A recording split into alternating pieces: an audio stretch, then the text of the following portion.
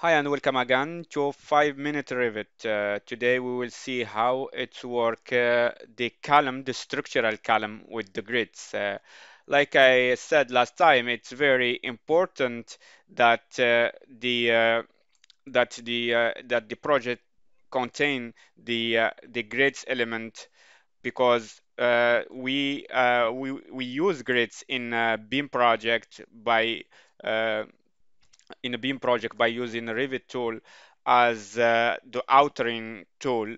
And uh, the powerful stuff that we have in Revit, it's the uh, the relationship between uh, the elements. Like uh, when we say relationships between the elements, uh, we talk about the datum element that establish this relationship. For example, you see here I have I have this column that host in this hosted in this intersection uh, between these grids. Uh, if, for example, I move here the grids, it's move the uh, column here. And if I move here the grids, it's move this column here. This is one of a lot of benefit in uh, using uh, Revit as a BIM tool. Um, let's uh, let's dive in uh, how we can uh, benefit from the grids uh, to place a column in a Revit project. For example, if I want to place a structural column, I go to structure and the structure, I click on column and I go here in the property and choose here the uh, for example concrete uh, rectangular column and I choose like 24 uh, 24 30 and when I want to place it I can for example come here and place it here.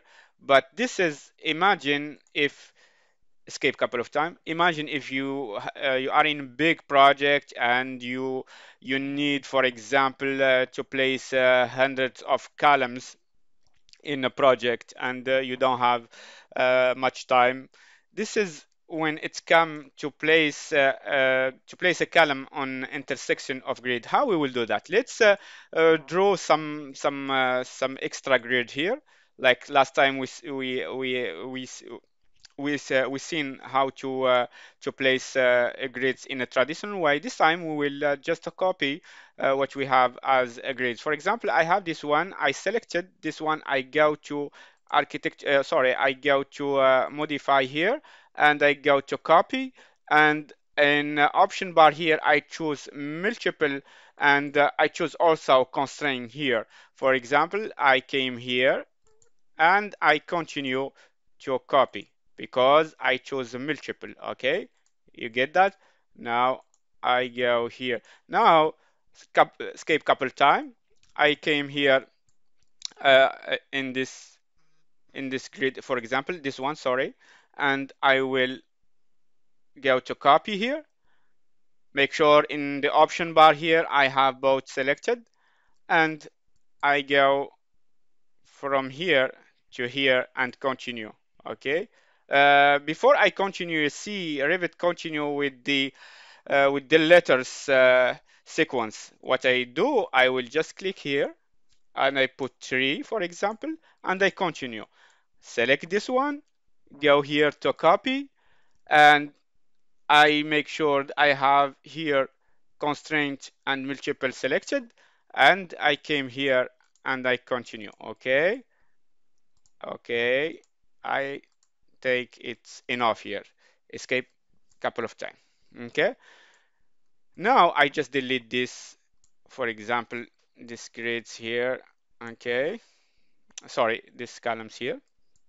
And now what I do to place the grids in all this intersection, okay? I go to column here and uh, instead of placing one by one, I said at grids here. You see here? At grids okay? And I just select the grids okay? You see here the preview? And then finish it. Escape couple of time. And voila I have here all my columns placed. If I go to my 3d you will see here all the grids place it in here in this floor okay I hope this video helped you understand how to take advantage of grids in Revit.